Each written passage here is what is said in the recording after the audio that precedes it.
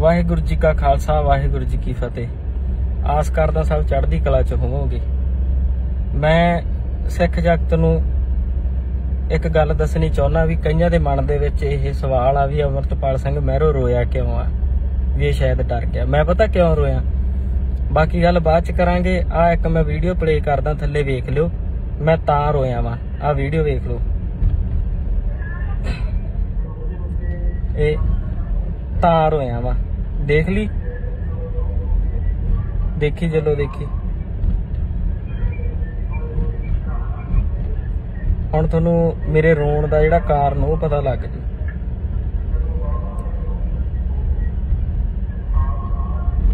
ਦੇਖ ਲਈ ਵੀਡੀਓ ਤੁਸੀਂ?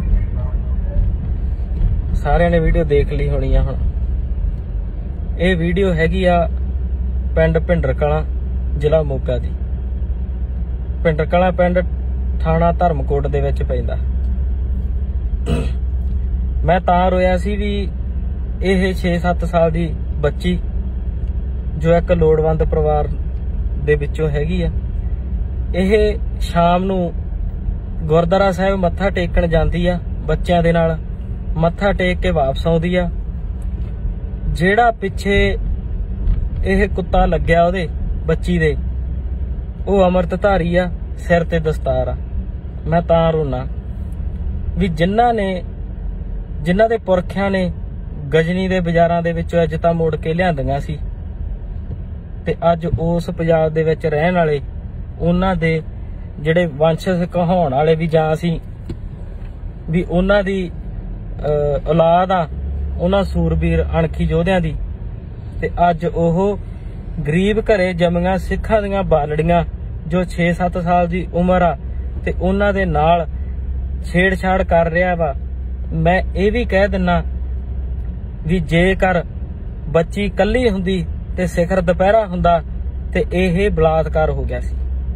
ਤੇ ਹੁਣ ਵੀ ਬਲਾਤਕਾਰ ਹੀ ਆ ਕਿਉਂਕਿ ਉਹਦੇ ਮਨ ਦੇ ਵਿੱਚ ਜਿਹੜੀ ਸੋਚ ਸੀ, ਉਹਨੇ ਆਪਦੇ ਮਨ ਦੇ ਅੰਦਰ ਤਾਂ ਇਸ ਬੱਚੀ ਦਾ ਬਲਾਤਕਾਰ ਕਰ ਦਿੱਤਾ। ਹੁਣ ਗੱਲ ਆਉਂਦੀ ਆ ਪੰਜਾਬ ਸਰਕਾਰ ਤੇ ਤੇ ਪ੍ਰਸ਼ਾਸਨ ਤੇ। ਮੈਂ ਕਿਸੇ ਦਾ ਵਿਰੋਧੀ ਨਹੀਂ ਹੈਗਾ। ਪਰ ਸਾਡੇ ਤੋਂ ਇਹ ਚੀਜ਼ਾਂ ਝੱਲੀਆਂ ਨਹੀਂ ਜਾਂਦੀਆਂ ਪੰਜਾਬ 'ਚ। ਠੀਕ ਆ? ਹੁਣ ਇਹ ਵੀਡੀਓ ਮੈਂ ਪੋਸਟ ਕਰ ਦਿੱਤੀ ਆ।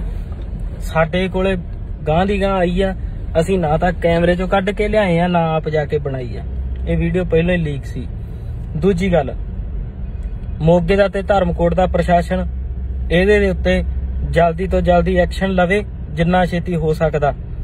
ਜਦੋਂ ਕਪੂਰਿਆਂ ਤੋਂ ਭਿੰਡਰ ਕਲਾਂ ਨੂੰ ਐਂਟਰ ਹੋਵੋਗੇ ਸਾਹਮਣੇ ਪਿੰਡ 'ਚ ਵੜ ਕੇ ਵੱਡੀ ਸਾਰੀ ਕੋਠੀ ਆ, ਖੱਬੇ ਹੱਥ ਸੰਦੀਪ ਨਾਮ ਮੁੰਡੇ ਦਾ, ਤੇ ਉਹ ਇਸ ਟਾਈਮ ਭਿੰਡਰ ਕਲਾਂ ਦੇ ਵਿੱਚ ਹੈ ਨਹੀਂ, ਅਸੀਂ ਪਤਾ ਕਰਾਇਆ ਹੋਇਆ।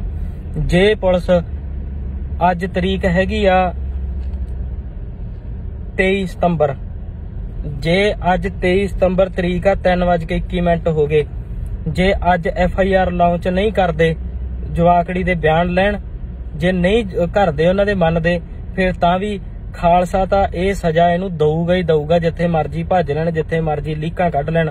ਪਰ ਅਸਲ ਦੇ ਵਿੱਚ ਜਦੋਂ ਪ੍ਰੂਫ ਸਾਹਮਣੇ ਆ ਗਿਆ ਤੇ ਪੁਲਿਸ ਨੂੰ ਚਾਹੀਦਾ ਲੇਡੀ ਪੁਲਿਸ ਨਾਲ ਲਿਜਾ ਕੇ ਬੱਚੀ ਦੀ, ਬੱਚੀ ਦੇ ਨਾਲ ਗੱਲਬਾਤ ਕਰਕੇ ਤੇ ਬੱਚੀ ਦੇ ਮਾਪਿਓ ਦੇ ਬਿਆਨਾਂ ਦੇ ਆਧਾਰ ਤੇ ਇਸ ਦੋਸ਼ੀ ਦੇ ਬਲਾਤਕਾਰ ਦੇ ਤਹਿਤ ਹੀ ਇਹਦੇ ਤੇ ਕੋਸੋ ਵੀ ਲੱਗੇ, ਇਹਦੇ ਤੇ ਐਕਟ ਲੱਗੇ ਵੀ ਜਿਹਦੀ, ਜਿਹਨੂੰ ਉਮਰ ਕੈਦ ਹੀ ਹੋਵੇ ਤੇ ਪਰਚਾ ਦਰਜ ਹੋਣਾ ਚਾਹੀਦਾ। ਜੇ ਪ੍ਰਸ਼ਾਸਨ ਇਸ ਵੀਡੀਓ ਦੇ ਆਧਾਰ ਤੇ ਐਕਸ਼ਨ ਦੇ ਵਿੱਚ ਨਹੀਂ ਆਉਂਦੀ, ਫਿਰ ਸਿੰਘਾਂ ਨੂੰ ਦੋਸ਼ ਨਾ ਦਿਓ ਵੀ ਅਮਰਤਪਾਲ ਸਿੰਘ ਦਾ ਕੀ ਹੱਕ ਸੀ ਭਿੰਡਰ ਕਲਾਂ ਦੇ ਵਿੱਚ ਆ ਕੇ ਇੱਕ ਬੰਦੇ ਨੂੰ ਸਜ਼ਾ ਦੇਣ ਦਾ। ਅਸੀਂ ਤਾਂ ਭਾਈ ਪਹਿਲਾਂ ਹੀ ਕਿਹਾ, ਅਸੀਂ ਤਾਂ ਖਾਲਸੇ ਨੇ ਆਪਦੇ ਕਾਨੂੰਨ ਲਾਗੂ ਹੀ ਕਰਨੇ ਆ। ਐਦੋਂ ਪਹਿਲਾਂ ਖਾਲਸੇ ਦੀ ਕਿਤਾਬ ਖੁੱਲ ਜੇ ਤੇ ਕਾਨੂੰਨ ਨੂੰ ਆਪਦੀ ਕਿਤਾਬ ਖੋਲ ਲੈਣੀ ਚਾਹੀਦੀ ਆ ਤੇ ਇਸ ਦੋਸ਼ੀ ਦਾ ਪਤਾ ਕਰਕੇ ਤੇ ਇਹਨੂੰ ਦਵਾ ਦਵਾ ਛੇਤੀ ਤੋਂ ਛੇਤੀ ਗ੍ਰਿਫਤਾਰ ਕਰਕੇ ਇਹਦਾ ਰਿਮਾਂਡ ਲੈ ਕੇ ਤੇ ਇਹਨੂੰ ਜੇਲ੍ਹ ਭੇਜ ਦਿੱਤਾ ਜਾਵੇ। ਵਾਹਿਗੁਰੂ ਜੀ ਕਾ ਖਾਲਸਾ, ਵਾਹਿਗੁਰੂ ਜੀ ਕੀ ਫਤਿਹ।